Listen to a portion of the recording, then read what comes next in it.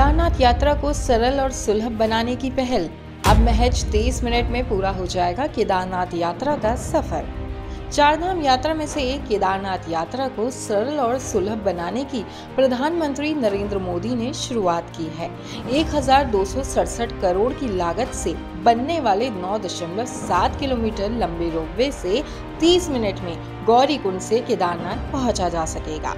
आपको बता दें, अभी गौरी कुंड से धाम पहुँचने में पाँच घंटे लगते थे और 16 किलोमीटर पैदल चलना पड़ता था।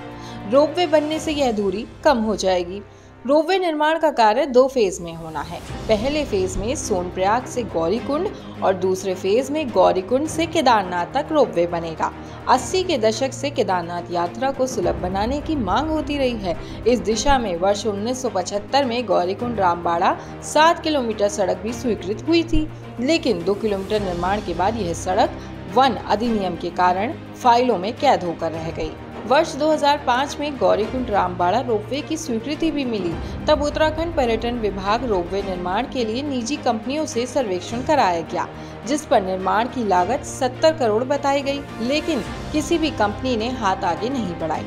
जून 2013 की आपदा के बाद केदारनाथ को सड़क से जोड़ने के साथ ही यात्रा को सुलभ और सरल बनाने की मांग जोरों से उठने लगी। National highway logistic management limited ने रोपवे निर्माण की प्रारंभिक कार्रवाई पूरी कर दी है। शुक्रवार को प्रधानमंत्री नरेंद्र मोदी ने केदारनाथ में रोपवे का शिलान्यास कर आम यात्रियों की वर्षों पुरानी मांग भी पूरी कर दी है।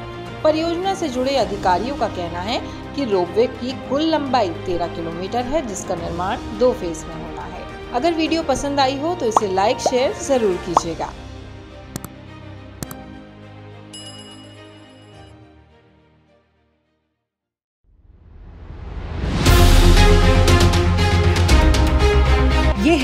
Reporter network. आप देख रहे हैं न्यूज़ रिपोर्टर लाइव। सोच आपकी आवाज़ हमारी।